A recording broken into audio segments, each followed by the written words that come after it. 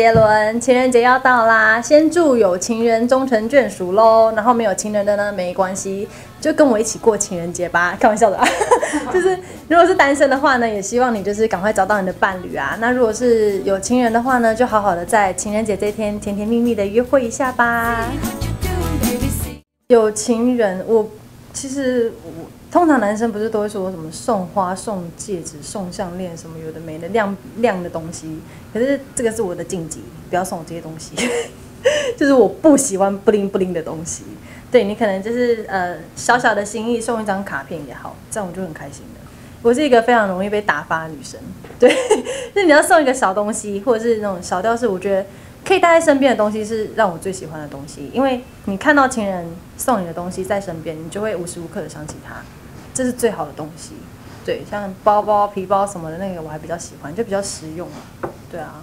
那现在有男朋友吗？单身喽，是累，单身。对啊，其实我这种身高也不好交男朋友啊。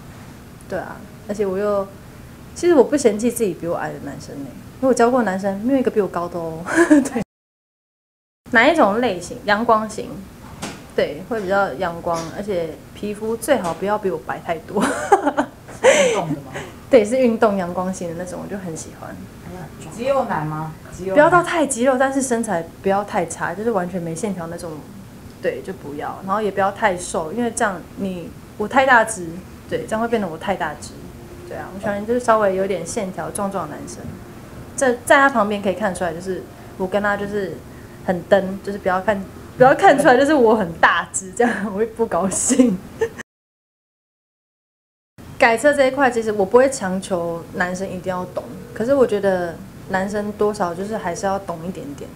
对啊，因为毕竟男生玩什么开车什么的都是男生在开比较多啊，所以我觉得男生不能完全不知道这一块，你要稍微略懂，然后。当我男朋友其实呃不不会骑车没关系，不会开车没关系，因为我会开车，我也会骑车，对，所以没关系。对啊，我可以就是我不会 care 男生一定要会开车，一定要是在我或者什么的，倒倒还好啦，就是你自己两个人相处开心就好，模式是合得来就好。